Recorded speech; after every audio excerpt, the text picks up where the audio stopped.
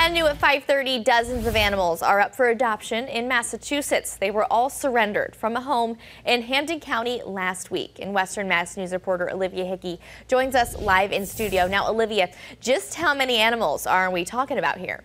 48 animals, Abby. Half of them are cats. While they can't comment on the investigation, the MSPCA says some of them are already available for adoption.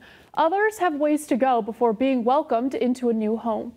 The MSPCA adding 48 new animals to their Nevins Farm Animal Care and Adoption Center in Methuen. Half of them are cats, and the rest of the litter includes dogs, rats, chinchillas, and birds. Foster care coordinator Naomi Burke says they came to them from an overcrowding situation at a home in Hampden County. Thankfully, they've been able to do really well in our care, and we're able to start finding them new homes. She can't comment on the investigation, but tells Western Mass News some cats and other animals have found homes. Others are ready for adoption. From the cat standpoint, they're really, really friendly, outgoing. You know, they live with other animals. The rats are available for adoption. The chinchillas are available for adoption. Um, some of the birds have already been going home. And others need extra care. So, um, these guys overall are in pretty good shape. Um, however, they did come into our care um, pretty infested with fleas um, and have a variety of medical needs from needing like a dental procedure done to take care of their teeth um, you know,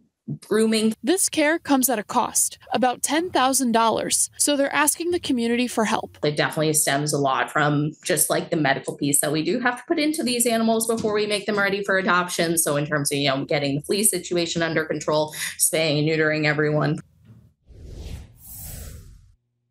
Now, I'm told anyone interested in helping the animals, information will be available on their social media pages. And anyone who may want to adopt one of these animals can visit them Tuesday through Sunday from 12 to 3. Reporting live, Olivia Hickey for Western Mass News.